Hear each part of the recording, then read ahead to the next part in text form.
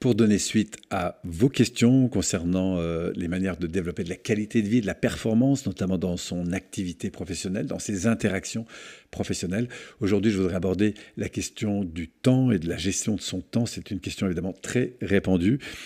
Euh, et c'est une question qui, ressort énormément, notamment euh, dans nos formations, puisque mon métier, moi, c'est de former et d'accompagner des, centaines de personnes par an dans leur euh, évolution personnelle et dans leur interaction à l'égard de leur environnement personnel, immédiat et, professionnel surtout, parce que c'est dans cette qualité d'interaction souvent que résident eh ben, les, sources de développement et de croissance et d'évolution les plus importantes.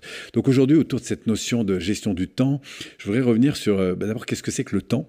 Le temps, c'est parfois de l'argent, le temps, c'est l'énergie, le temps, c'est. Bah, tout dépend en fait où est-ce que vous en êtes, mais c'est quelque chose qui se compte, qui, se, qui, passe, mais qui est en même temps euh, très, très, très large. Hein. La notion du temps, c'est fantastique. Alors, moi, ce que je voudrais euh, surtout dire, c'est qu'à travers ce temps, ce qui est surtout finalement, euh, au fond, important, c'est vos importants. Et je crois que, en tout cas, ce qui m'a aidé beaucoup, moi, dans, dans, dans, mon parcours d'évolution à, à l'égard du temps et de la manière de gérer mon temps, et je crois que ça a été euh, aussi beaucoup observé, c'est ce que j'observe, en tout cas auprès des, personnes qui avancent et qui évoluent euh, dans leur révolution personnelle, c'est quelque chose de très important qui monte et qui a du coup un impact sur leur temps, c'est la conscience de ce à quoi ils attribuent de l'importance dans leur vie. Qu'est-ce qui est important aujourd'hui, que ce soit dans ma vie perso, professionnelle, sociale, familiale Quelles sont les valeurs en fait euh, auxquelles j'attribue le plus justement d'attention? Que ce soit par rapport euh, euh, aux interactions qui me sont importantes, par qu'est-ce qui me nourrit, qu'est-ce qui est important en fait? Et à partir du moment où cet important commence à monter, eh bien du coup, je vais pouvoir réorienter mes objectifs aussi en fonction de ça. D'abord, choisir les personnes avec qui je vais travailler parce que parce qu'on se retrouve sur des valeurs. Euh, je vais choisir les projets qui m'intéressent parce qu'ils nourrissent effectivement mes, priorités. Et puis du coup, je vais pouvoir accentuer eh ben, mon organisation du temps par rapport à ça. Et donc, vous savez, ce petit diagramme qui euh, qu'on voit souvent quand on fait des stages la gestion du temps. On parle des importants et des pas importants. Et puis de l'autre côté, on met euh, ce qui est urgent et ce qui n'est pas urgent. Hein, c'est Zenauer qui est d'ailleurs à l'origine de ce modèle. Et du coup, on se retrouve avec quatre zones que j'appelle P1, P2, P3, P4. P1, c'est quand euh, c'est le lien entre l'important et l'urgent. Donc le P1, c'est ce qui se passe ici et maintenant et qui est vraiment important. Si je suis, par exemple, dans une fonction d'accueil téléphonique, c'est quoi qui est important maintenant? Bah, C'est d'accueillir des gens au téléphone, c'est ma première mission. Et après de se dire, bah, c'est quoi les valeurs que j'ai envie de nourrir dans cette dimension et surtout, c'est quoi les priorités auxquelles j'ai envie de, répondre plus particulièrement. Et parce que bah, je suis là pour ça, parce que ça fait partie de ma mission, je vais me sentir non seulement heureux, mais je vais avoir à cœur en plus euh, bah, de développer de la performance. Donc là, c'est l'immédiat qui est en phase avec euh, mes aspirations.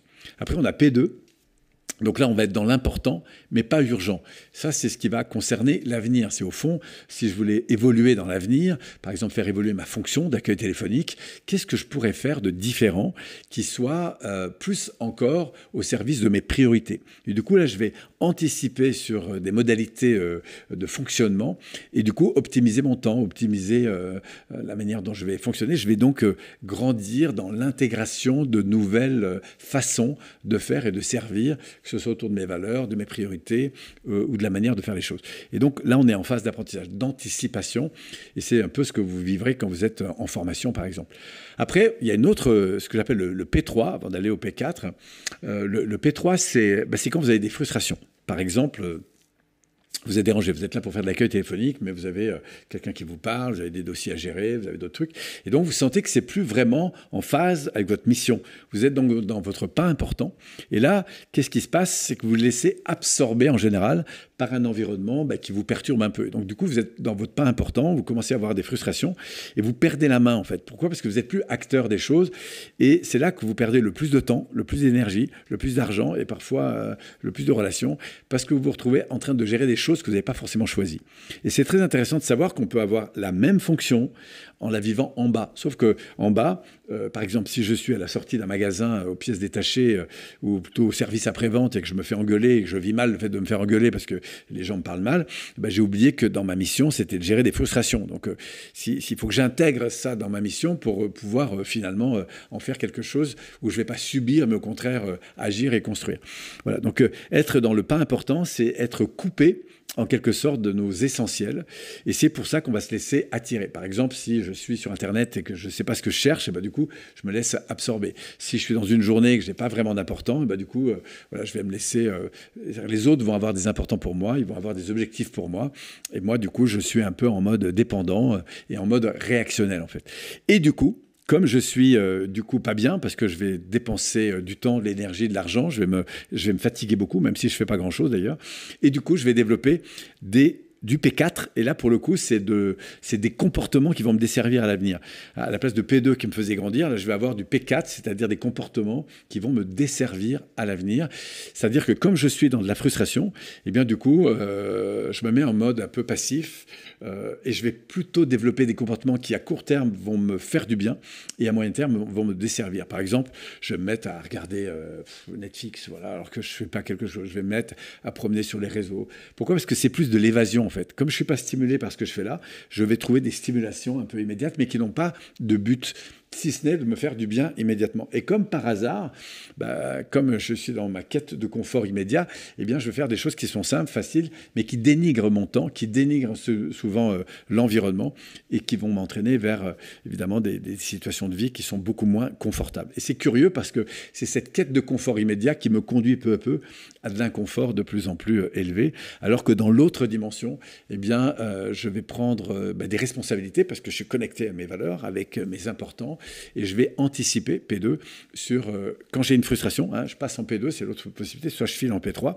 j'ai une frustration et je me dis tiens, qu'est-ce qui est important là-dedans? Je reviens sur ma connexion P1 et du coup, qu'est-ce que je pourrais anticiper dans l'avenir? De différents pour justement euh, satisfaire davantage cette situation. Par exemple, à chaque fois qu'on est en réunion, euh, eh ben, j'ai l'impression d'attendre un quart d'heure parce que les gens ne sont pas là. Ça, c'est la frustration que je vis. Si je monte au-dessus, je me dis, tiens, c'est quoi la frustration et qu'est-ce que ça me ramène comme important? Ben, Plutôt qu'aller crier sur les autres, P4, euh, ah, de toute façon, ils sont toujours en retard et les critiquer, je me dis, tiens, mon important, c'est quoi? C'est d'arriver à l'heure. Donc, vous savez quoi? Avant qu'on démarre la prochaine réunion, les amis là qui venaient d'arriver maintenant après 15 minutes où je vous attends, je voudrais que... Non, mais c'est pas une critique, c'est juste que je voudrais vous reconnecter à quelques importants. Le premier, c'est d'arriver à l'heure. Est-ce que pour vous, c'est quelque chose d'important? Et c'est oui, pourquoi? Et ensuite, est-ce qu'on pourrait euh, bah, se définir que la prochaine fois, on arrive tous euh, au même moment, sinon on décale d'un quart d'heure, quoi, en gros? Et puis surtout, est-ce que ça pourrait être une règle qu'on mette en place? Donc vous voyez, il y aura toujours trois choses, les valeurs, la vision, l'objectif, la solution, et puis enfin, les règles du jeu qui nous permettent euh, justement de de, réussir en fait. Et c'est ça, en fait, une bonne gestion du temps pour moi dans sa vie, c'est euh, bah, d'organiser sa vie autour de ces importants-là. Voilà, j'aimerais bien avoir votre avis si ça vous agrée de me laisser comme ça quelques, quelques échanges, vos réflexions, vos suggestions, vos questions, vos impressions, et puis aussi peut-être votre expertise déjà dans le domaine. Comment vous y prenez-vous pour optimiser la qualité de votre temps ou celui euh, de votre environnement? Ça sera toujours intéressant de vous lire. Merci encore de votre présence et puis au grand plaisir de pouvoir continuer à interagir.